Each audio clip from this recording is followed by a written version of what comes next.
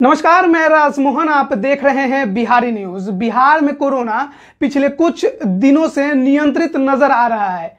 लगातार पिछले कुछ दिनों से बिहार में कोरोना के नए मामलों की संख्या 2500 से नीचे लगातार मिल रही है, जो कि अच्छी खबर है, जहाँ पहले मामले 3000 से ज़्यादा थे, अब वो 2500 के नीचे हो चुके हैं, जबकि जाँच जो है बिहार में प्रतिदिन लाख से ऊपर हो रही है, यानी एक लाख से ज़्यादा जाँच होने के बावजूद मामलों में कमी आ रही है। यह बिहार के लिए अच्छी बात है।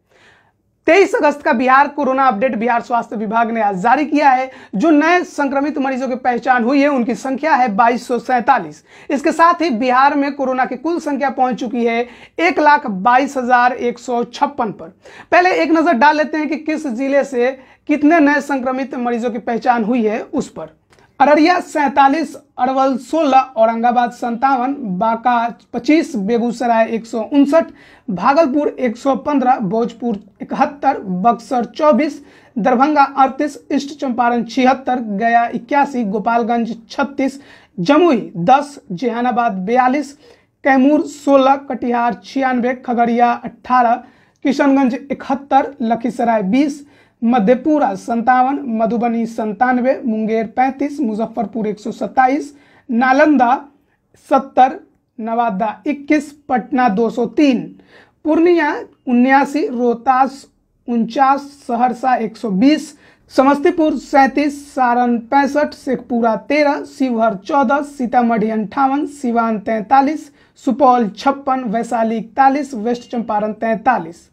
इस तरह बिहार में पिछले 24 घंटे में बाईस नए संक्रमित मरीजों की पहचान की गई है। स्वास्थ्य विभाग द्वारा जारी किए जा रहे अगर आंकड़ों पर हम नज़र डालें तो हम पाते हैं कि पिछले कुछ दिनों में छह ऐसे ज़िले हैं जहाँ संक्रमण जो है काफ़ी तेज़ी से नीचे गिरा है।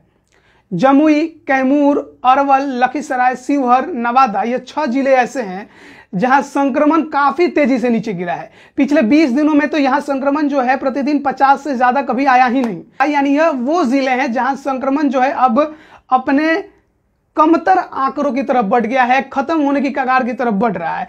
लेकिन वहीं कुछ ऐसे भी ज़िले हैं जो अभी भी सबसे ज़्यादा संवेदनशील बने हुए हैं। नौ ज़िले हैं बिहार के जहाँ पर संक्रमण जो है अभी भी अपने रफ्तार में है। वो है बेगूसराय, पटना, मुजफ्फरपुर, भागलपुर, कटिहार, अररिया, पूर्वी चंपारण, मधुबनी, ये वो ज़िले हैं जहाँ पर संक्रमण जो है वो काफ़ी तेज़ी से, अभी भी तेज़ी से आ रहा है। नए संक्रमित मरीजों की पहचान अभी भी लगातार, यहाँ सौ या उससे ज़्यादा की लगातार औसतन हो रही है।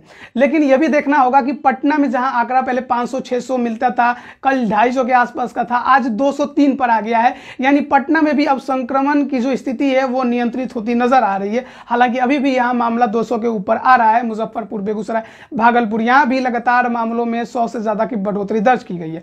अब बात कर लेते हैं, बिहार में एक्टिव केसेस की तो वो तेईस से चौबीस के आसपास अब बिहार में एक्टिव केसेस अभी मौजूद हैं। इसके अलावा अगर बात करें बिहार में टेस्टिंग की तो वो एक लाख से ज़्यादा अभी भी लगातार प्रतिदिन हो रही है। जान गंवाने वालों की बात करें तो बिहार में 600 से ज़्यादा लोगों ने अब तक कोरोना से जान गंवा दी है। और अगर हम बात करें बिहार में रिकवरी रेट के प्रतिशत की तो बिहार का रिकवरी रेट पिछले कुछ दिनों में भारी उछाल ले चुका है, जहाँ देश का रिकवरी रेट चौहत्तर प्रतिशत है। वहीं बिहार का रिकवरी रेट उन्यासी प्रतिशत से ज़्यादा हो चुका है। यानी यह कहना अब गलत नहीं होगा कि बिहार में कोरोना नियंत्रित होता नज़र आ रहा है पहले की तुलना में। हालाँकि अभी भी बहुत कुछ करने की ज़रूरत है। सोशल डिस्टेंसिंग बनाए रखने की आम जनता को ज़रूरत है। बाहर निकलते वक्त मास्क का उपयोग करने की भी ज़रूरत है। जो भी सुरक्षा के मानक है उसको अपनाए रखने और उसका इस्तेमाल करने की ज़रूरत है ताकि जो संक्रमण की जो रफ्तार जो लगातार नीचे गिरते जा रही है, वो तेज़ी से और नीचे गिरे और बिहार को इस कोरोना से छुटकारा मिल सके। तो खबरों में बने रहने के लिए देखते रहिए बिहारी न्यूज़। धन्यवाद।